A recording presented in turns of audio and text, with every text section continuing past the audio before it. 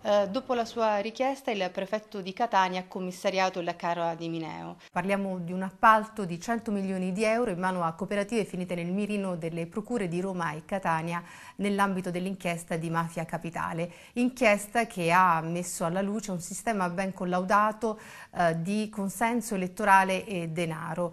Eh, lei fin da subito aveva dichiarato illegittima la gara. Perché? Ma perché noi avevamo avuto un esposto che riguardava questa specifica gara e avevamo verificato che il bando era stato costruito con criteri che ci sembravano tipici del cosiddetto abito su misura, cioè di una gara che era stata costruita in modo da non consentire una partecipazione concorrenziale, ma di soggetti che avevano alcune specifiche caratteristiche, non è un caso che partecipò, partecipò un'unica ditta con un ribasso d'asta di poco meno dell'1%.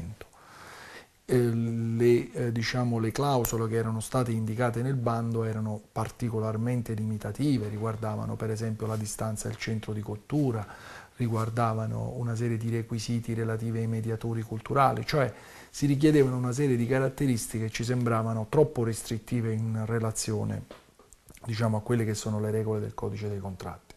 Successivamente poi le indagini mafia capitale hanno dimostrato che quella individuazione dei requisiti, così come noi avevamo già in parte individuato, era sintomatica di un, veramente di un abito costruito su misura. Qui c'era evidentemente un fatto corruttivo che aveva comportato un significativo guadagno per la, la, i soggetti che avevano vinto l'appalto. Ma l'appalto in questione era 100 milioni, ma eh, è evidente che il giro d'affari era maggiore e poi c'era certamente tutta una serie di attività collegate anche alla gestione delle strutture amministrative. Noi stiamo parlando di un singolo appalto.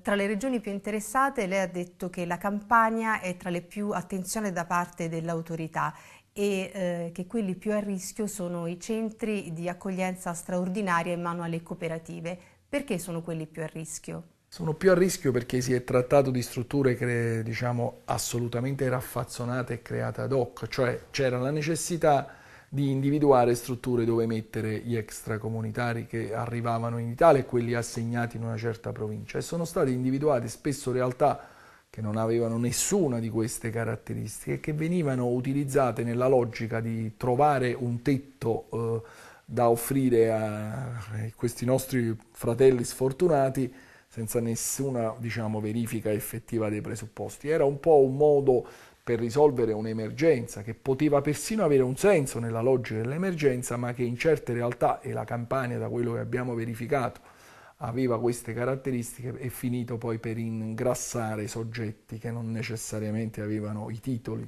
Cioè noi stiamo ancora lavorando in Campania per quanto riguarda un periodo soprattutto del passato, gli affidamenti che sono stati fatti a una serie di centri, una serie di cooperative, una serie di onlus.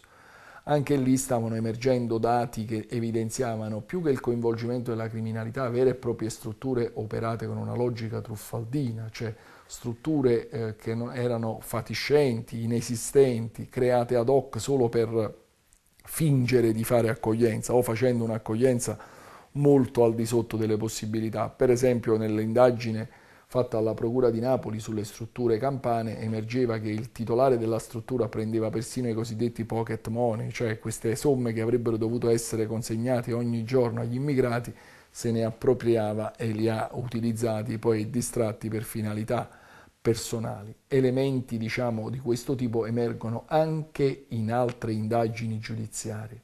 La politica dell'emergenza da sempre favorisce mafie e malaffare. Eh, nel sistema di accoglienza dei migranti è stata accertata la presenza delle grandi organizzazioni criminali organizzate? Il sospetto, verificando certe realtà, è che ci possa essere uno zampino della criminalità organizzata. Ad oggi però le indagini giudiziarie, tranne che nelle vicende romane, non lo fanno intravedere. Ehm io credo che in relazione al, ai grossi guadagni economici è abbastanza difficile ritenere che in realtà in regioni in cui è particolarmente alto il tasso di criminalità organizzata eh, la Camorra, la mafia, l'andrangheta la Sacra Corona Unita siano rimaste a guardare. Il tema vero è che la gestione di questi della, della, diciamo, dell'immigrazione viene fatta ancora con una logica tipica eh, della, dell'emergenza, malgrado ormai siamo da tempo oltre l'emergenza. E questo in qualche modo eh, ha abbassato moltissimo e continua in parte ad abbassare moltissimo il livello delle, eh, diciamo delle regole.